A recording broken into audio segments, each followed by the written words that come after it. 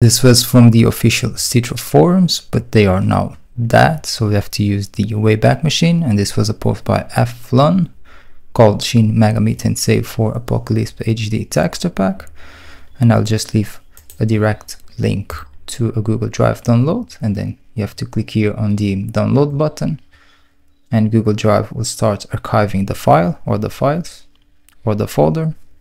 After the archiving is complete, Google Drive will give you two files or two zip files to download.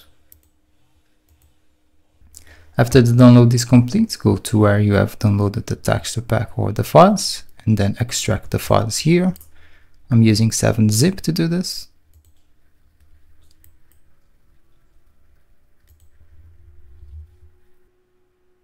Then go inside of this folder, copy or cut all of these folders.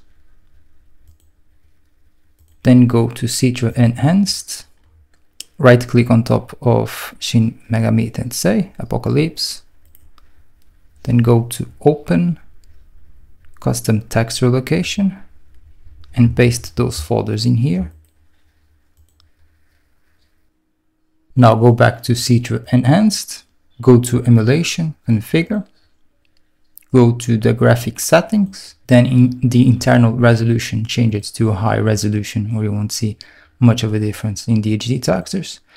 And then here at the bottom in the utility section, turn on use custom textures.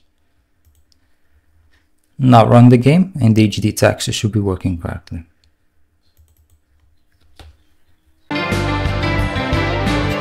Son, Morning. Hope you got enough rest.